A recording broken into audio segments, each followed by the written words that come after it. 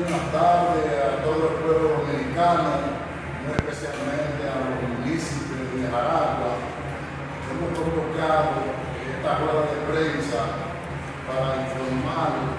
sobre la jornada de limpieza en el día de hoy en nuestro municipio. Eh, informar que hubo mucha receptividad de parte de los comunitarios del municipio, hombres y mujeres, y es una jornada que finaliza con mucha satisfacción, con mucha alegría, ya que se trató de una limpieza para contribuir a que tengamos un municipio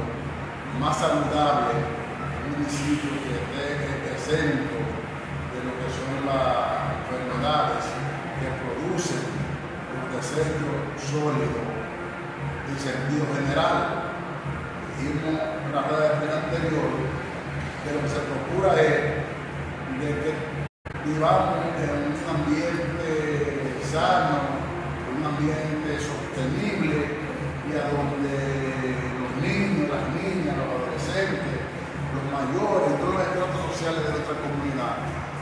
debido a, la limpieza, debido a este trabajo realizado hoy, de la recogida de los desechos sólidos, pueda prolongar y mejorar su calidad de vida.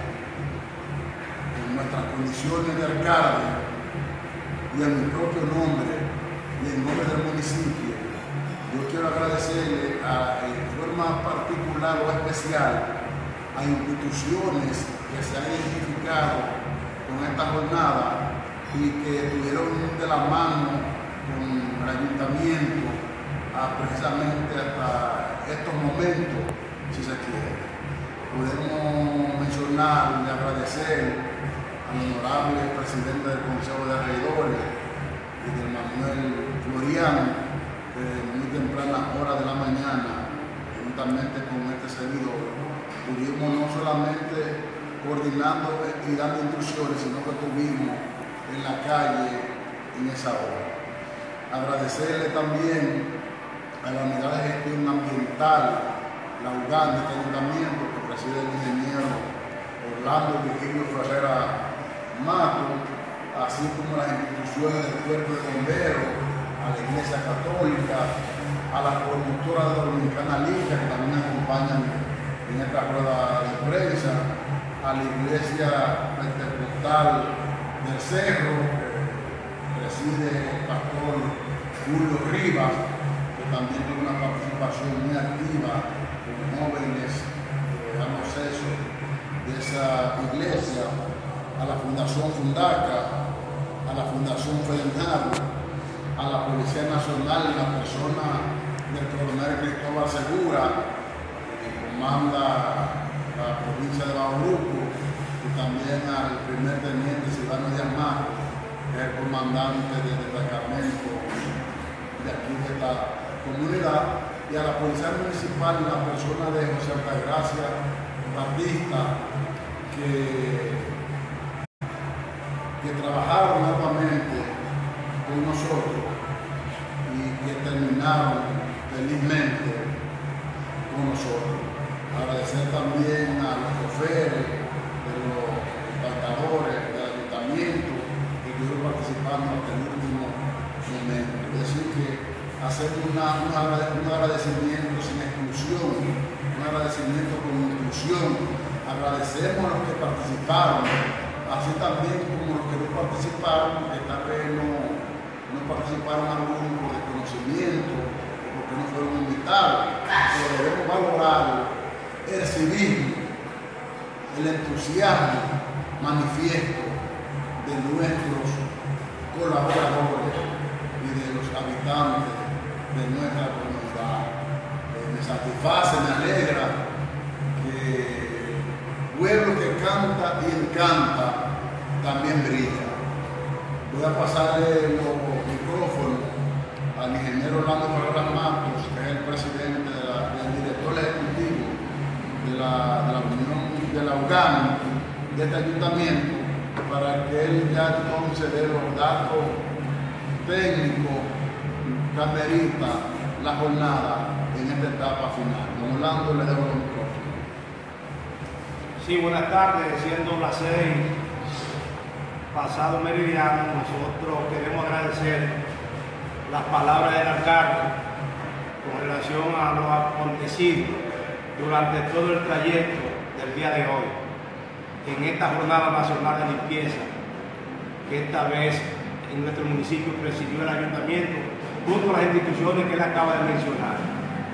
Nosotros, al concluir dicho, dicho evento, pudimos eh, reconocer que el municipio tiene una capacidad enorme,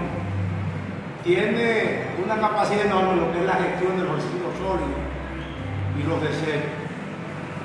Y haciendo ya en la etapa final, concluida la actividad, una categorización de todos los residuos sólidos recolectados. Pudimos comprobar en la clasificación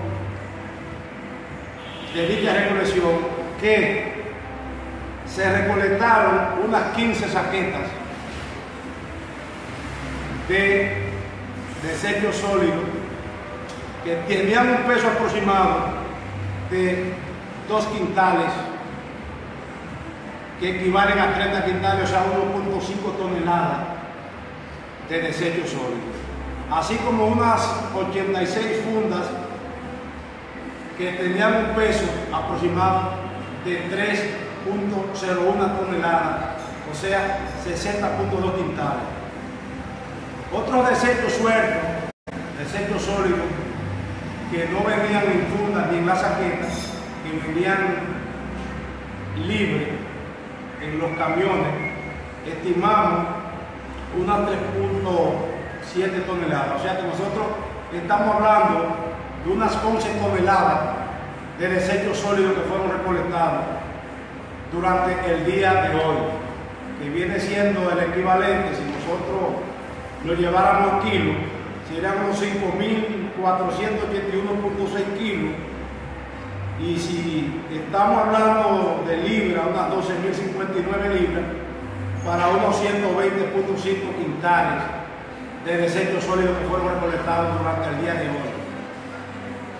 Eso equivale, si fuéramos a, a ver más o menos cuál es la capacidad que, generan los hogares, estaríamos hablando entonces que estamos en la media. O sea, estamos en la media porque los hogares no están generando más desechos sólidos de lo que estamos pensando. O sea, el programa de gestión y de capacitación que está llevando a cabo Dominicana Limpia, parece que las damas de los hogares, las amas de casa, están ya tomando conciencia de lo que generaría estos desechos sólidos si se les seguiría dando una manera.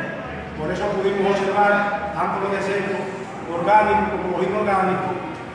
y ver que alrededor de un, 18% de los desechos sólidos son inorgánicos, que es importante. Tendríamos que bajar por lo menos a un 15% para que la media sea 85 orgánicos y 15 inorgánicos. Hasta ahora tenemos 88, 86, 87 orgánico y un 13, un, 18, un 18 inorgánico. O sea que un 18 y un 82, correcto. Entonces, nosotros debemos destacar que fueron intervenidos los arroyos, arroyo Pena y arroyo El Barro, desde la cuenca media baja hacia donde están los puentes. De ahí se trajeron sedimentos así como otros desechos sólidos que son vertidos en esos arroyos y cañadas.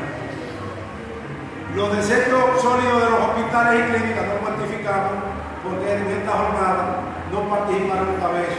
estos personajes. Bueno, entonces, ya con las informaciones que da el director de la Unidad de Gestión Ambiental de